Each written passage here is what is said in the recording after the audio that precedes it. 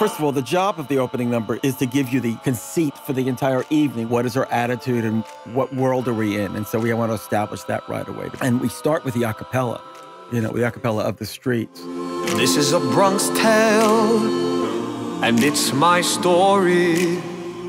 The world I lived in, the people I knew.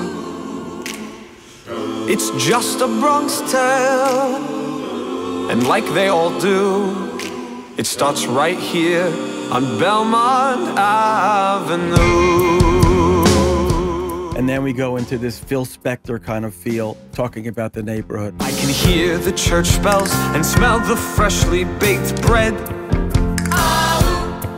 See the storefront awnings, the neon green, white, and red. Tommy, throughout the whole process, was insistent that this sound authentic. The guitar sound, everything to the reverb. Yeah, the vibrato, the sound of that drum, the bells, all the elements of music that happened in that genre in that period, we try to incorporate, yet still having to pay attention to the fact that we're a musical, and that has its own set of restrictions.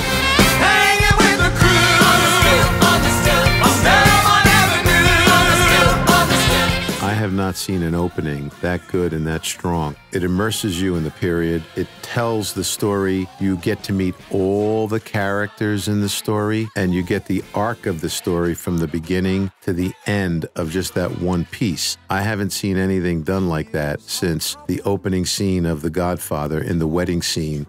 I think it's that brilliant. It starts right here on Belmont Avenue.